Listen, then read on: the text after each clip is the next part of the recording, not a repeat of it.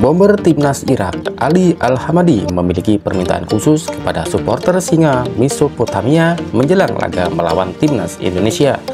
Timnas Irak akan memulai kiprah di putaran kedua kualifikasi Piala Dunia 2026 zona Asia dengan menjamu timnas Indonesia. Duel kedua tim dijadwalkan berlangsung di Stadion Internasional Basra, Irak pada Kamis 16 November 2023 malam waktu Indonesia Barat. Untuk menghadapi laga tersebut, pelatih Irak memanggil penyerang AFC Wimbledon yaitu Ali Al-Hamadi. Masuknya Al-Hamadi di skuad Irak tak lepas dari penampilan apiknya bersama klub kasta keempat Liga Inggris itu. Ia belum lama ini dinobatkan sebagai peraih penghargaan Player of the Month di AFC Wimbledon. Baru-baru ini pemain berusia 21 tahun itu memberikan komentarnya mengenai pertandingan melawan timnas Indonesia.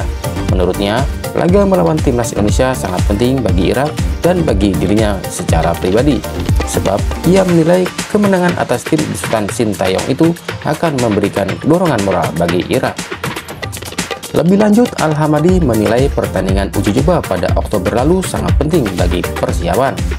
Menyadari pentingnya laga melawan Indonesia, Al-Hamadi pun memiliki permintaan khusus kepada supporter Irak Bomber berpostur 187 cm itu meminta kepada supporter memenuhi stadion untuk mendukung para pemain. Shin Taeyong total membawa 25 pemain untuk memperkuat timnas Indonesia untuk laga melawan Irak.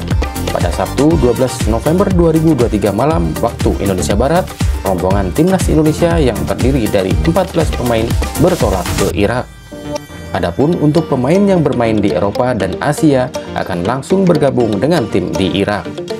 Timnas Indonesia dijadwalkan akan tiba di Basra pada minggu pagi dan pada sore harinya langsung menjalani latihan. Setelah menghadapi Irak, skuad Garuda akan langsung terbang ke Manila untuk melawan Filipina pada 21 November 2023.